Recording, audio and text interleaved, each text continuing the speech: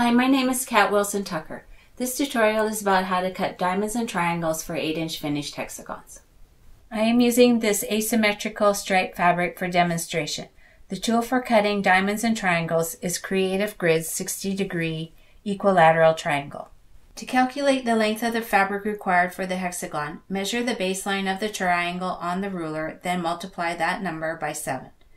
So for an 8 inch finished hexagon, I measured the 4.5 inch line on the ruler, and that came to just a little bit over 5.5 inches. So I rounded that up to 5 and 3 quarters, multiplied that by 7, and that came to 40 and a quarter inches. Then I rounded that number up and cut the fabric at 41 inches.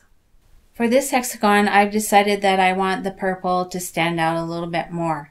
So I've placed the quarter inch line between the light purple and the brown.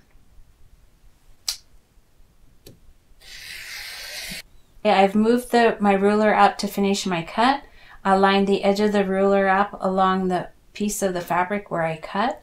Put the quarter inch line again between the purple and the brown stripe and now I'm finished the cut.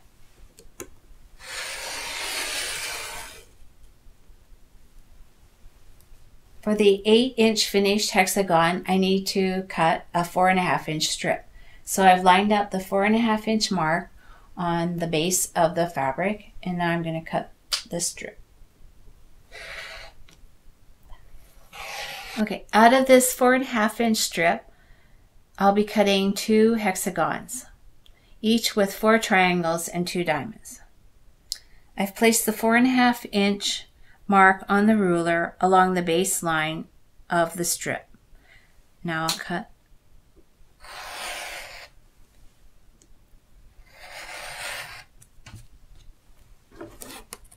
Now what you do is you turn the ruler around and line the four and a half inch line at the top and the edge of the ruler along where you just cut.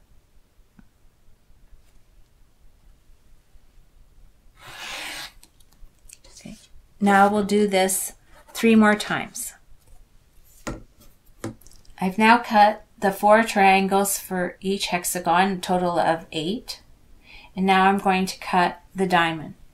So what we do is place the intersection point of the four and a half inch line and the seam line right on the very top corner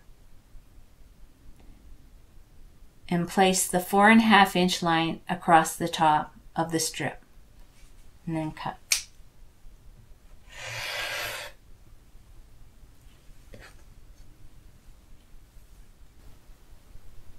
These are the pieces for the two letter P hexagons. The triangles and diamond aligned at the bottom are for one hexagon. The ones at the top are for the other.